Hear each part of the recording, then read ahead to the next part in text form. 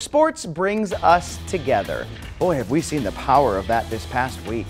One Winston-Salem family takes that idea to a whole new level. WFMY News 2's Jalen Gilkey met two brothers on a mission to win a championship. Jamarian and Shamarius Peterkin have done everything together as long as they can remember. And this year, the two brothers are on a mission to bring Mount Tabor their first basketball state championship since 2009.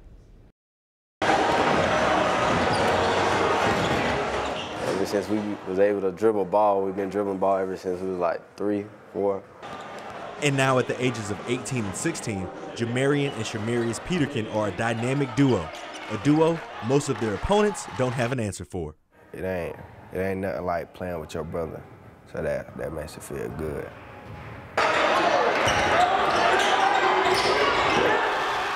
This season, the Spartans are off to a 14-1 start, and the Peterkin brothers are a major reason for their success.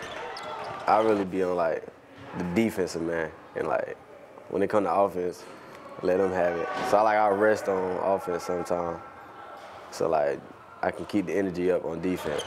Head coach Andy Muse has been at Mount Tabor for over three decades, and he and the Peterkin family have a long history together. They're a Mount Tabor family.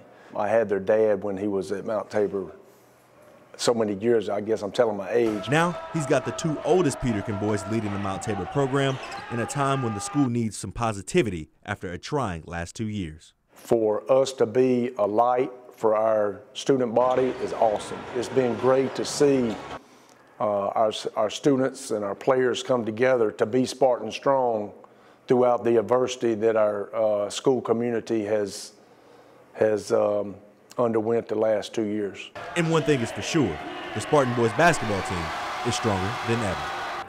I'm gonna say we're gonna put on a show every time you come watch it.